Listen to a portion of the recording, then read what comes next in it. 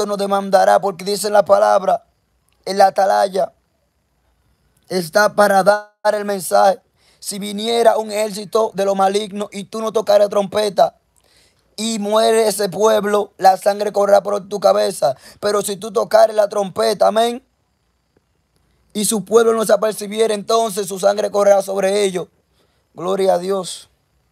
Entonces, estamos llamados a predicar el arrepentimiento de los pecados. A la persona que no tenga a Cristo. Muchos predicadores hacían eso en aquellos tiempos atrás. Ven, para hacer un milagro, tenía que aceptar a Cristo. Para recibir sanidad, tenía que recibir a Cristo. Porque hay personas que solamente quieren el milagro, pero no quieren la salvación. Porque Jesucristo cuando sanaba a alguien decía, vete, eres salvo, no peques más, aléjate del pecado, vete. Eso es lo que dice Cristo. Dice en el 34, no dice, temed a Jehová vosotros, su santo, pues nada a los que le temen los leoncillos necesitan y tienen hambre, pero los que buscan a Jehová no no tendrán falta de ningún bien. Demamos a Jehová. Hablemosle del temor a las almas. Hablemosles a los brujos de que viene Cristo. Hablemosle, no tengamos miedo. Los ángeles acampan a nuestro alrededor. Gloria a Dios. Los ángeles vienen a buscar la iglesia. Vienen a apartar los buenos de entre los malos y los malos serán echados en el horno de fuego. Háblenle claro a las almas de que serán echadas en el horno de fuego.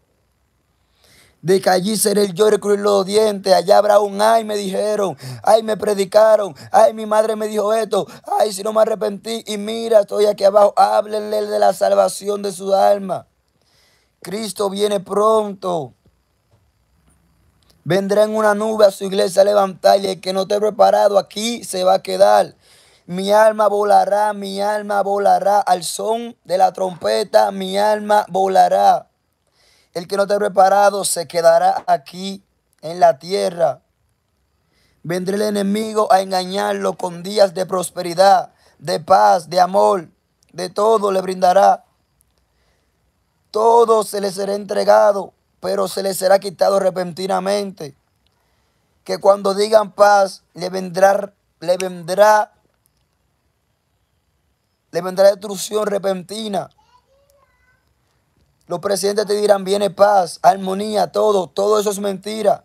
Ya no hay paz en el mundo, la paz es Cristo. Pasos doy, pasos dejo, pero la paz que doy no la da como la del mundo. El presidente te puede dar paz, pero esa paz no es paz buena. Mentirosos son los consejos del hombre. Mentiras son los consejos del hombre. Paz es la que da Cristo. Paz es la que lleva al cielo. Paz es la que da Cristo. Dice así, 34. Busqué a Jehová y él me oyó y me libró de todos mis temores. Los que miraron a él fueron alumbrados y su rostro no fueron avergonzados. Esas son las almas. Amén. Busqué a Jehová y él me oyó.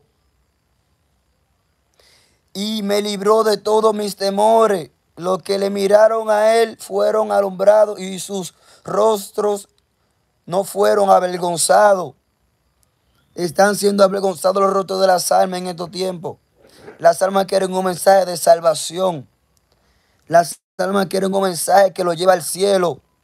Las almas quieren un mensaje de restauración de su vida, del arrepentimiento de su pecado. Al que el Padre libertare será verdaderamente libre. Amén. Gloria a Dios. Prediquémosle la palabra a las almas. Con esto termino. Prediquemos la palabra a las almas. Levantémonos en pie de guerra porque el ángel de Jehová acampa alrededor de los que le temen y los defiende. No le tengamos miedo a la brujería. No le tengamos miedo a la hechicería, gorero, brujo, lo que sea. Nada de eso tiene poder. Hay un nombre sobre todo nombre. Y tenemos ángeles que acampan a nuestro alrededor. Estemos siempre bajo el temor de Cristo. Amén. Dios le bendiga, Dios le guarde.